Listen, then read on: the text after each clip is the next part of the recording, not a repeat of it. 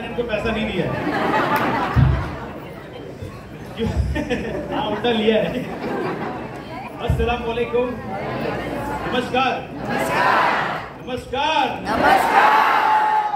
Yes, मेरा नाम सैयद खान मैं अंधेरी वेस्ट में रहता हूँ। ये बिज़नेस को स्टार्ट करने के पहले मैं रिलायंस कम्युनिकेशन में एज असिस्टेंट टेरिटरी मैनेजर था।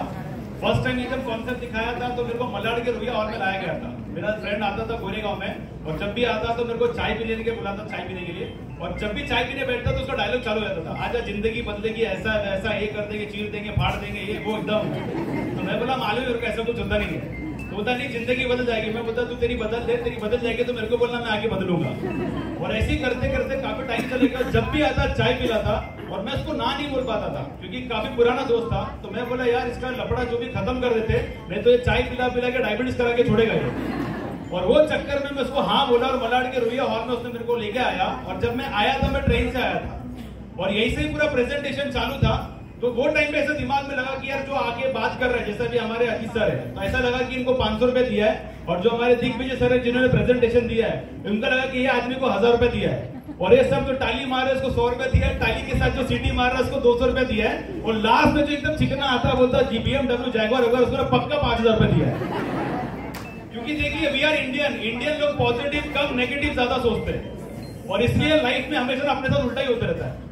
तो मैंने पूरा प्रेजेंटेशन देखा। देखने के बाद मेरे को कुछ चीज़ें अच्छी लगी। सबसे अच्छा चीज़ ये लगा कि यार पैसा दिया, सामान मिला, एक रुपए का लॉस नहीं है। और दूसरी चीज़ मैं हमेशा बोलता हूँ, नहीं करके भी कौन सा राजा की ज़िंदगी जी रहे तो करके देखने में क्या है? राइट होंगे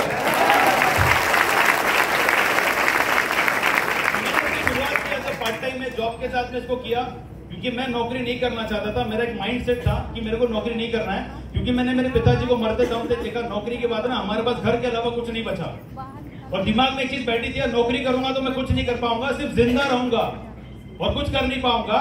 तो माइंड सेट था क्योंकि मेरे पिताजी ने चालीस साल नौकरी किया। अगर मैं भी चालीस साल नौकरी करूँगा तो आने वाले टाइम पे मेरे बच्चों को भी नौकरी करना पड़ेगा। सही है सर लो? तो मेरा मेरे बाप के फ़र्क कर रहा दिमाग में चलता है। क्योंकि आज बहुत सारे लोग बोलते हैं खास करके यंगस्टर काश मेरे माँ बाप ने कुछ किया होता तो मैं आज ये बिज़नेस करता, चीर देता, फाड़ देता, ऐसा करता, वैसा करता।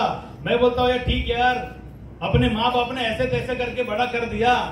तेरे में दम है तो तू करके दिखा दे। तू करके दिखा दे। मैं इसको स्टार्ट किया जॉब के साथ में तो सबसे पहला मैंने एक्टिवा लिया, दूसरा मैंने जॉब छोड़ा। फिर तीसरा छोटा सा अचीवमेंट किया, मैंने लैपटॉप लिया, चौथा अचीवमेंट किया, मैंने होंडा सिटी कार लिया, फिर पांचवा मैंने फिर आईफोन लिया, छठा अभी मैंने जो कार लिया ब्रेजा कार 16 लाख की, इसी बिज़नेस के माध्यम से लिया मैंने। फिर मैं आपको इसलिए बता रहा हूँ, मैं आपको बोल के मेरा कोई बड़प्पन नहीं बता रहा हूँ लेकिन मैं आपको इसलिए बता रहा हूँ कि नौकरी करने वाला साधारण इंसान अगर कर सकता है तो आप भी कर सकते हो। और दूसरी चीज़ मैं आपको बताऊँ कि बिज़नेस में दूसरा मेरा रीजन था फैमिली सिक्योरिटी मेरे वालिद साहब के इंतकाल के बाद घर की ज़िम्मेदारी मुझ पर आ गई थी क्योंकि मैं घर का बड़ा था। मेरी दो छोटी बहन और मेरे दो छोटे भाई थे और मेरी माँ थी। और हमेशा दिमाग में एक चीज़ ख्याल आता था, यार, सैयद, आज अपन ज़िंदा है तो कोई रिश्तेदार आके नहीं पूछ रहा है। हाल चाल कुछ है या नहीं है घर में? कल को अपन नहीं रहेंगे तो क्या होगा? और ये दिमाग में आते गया कि मैंने बोला, चलो, इसको करते हैं। इसलिए मैं धंधे को स्टार्ट किया। आज ये बिज़नेस के बारे में मेरी माँ को कुछ नहीं मालूम है। और मेरी माँ इस बिज़नेस की नॉमिनी है। जैसे आज संतोष सर ने बताया, उनके जो फ्रेंड थे, उसके बारे में नॉमिनी फैसिलिटी तो ये दूसरा रीजन था मेरा बिज़नेस करने का, और लास्ट में आपको एक ही चीज़ बोलूँगा, जाते जाते। गरीबी से निकलने का एक ऑप्शन है। महँगाई से निकलने का एक ऑप्शन है। एडजस्ट वाली लाइफ से निकलने का एक ऑप्शन है। और हम कोई भाड़े के आदमी नहीं है यार। कई नए लोग को लगता है कि कोट पेंट वाले ना भाड़े पे आते, गाड़ी भी भाड़े के लेके आते। हैं मैं बोलता हूँ, भाड़े का गाड़ी कोई भी एक दिन लेके आएगा। एक हफ़्ता भाड़े पे लाएगा। मैं बोलता एक महीना भाड़े पे लाएगा।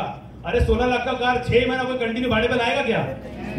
नहीं ना हाँ बजाना तो ज़ोर से बजाओ।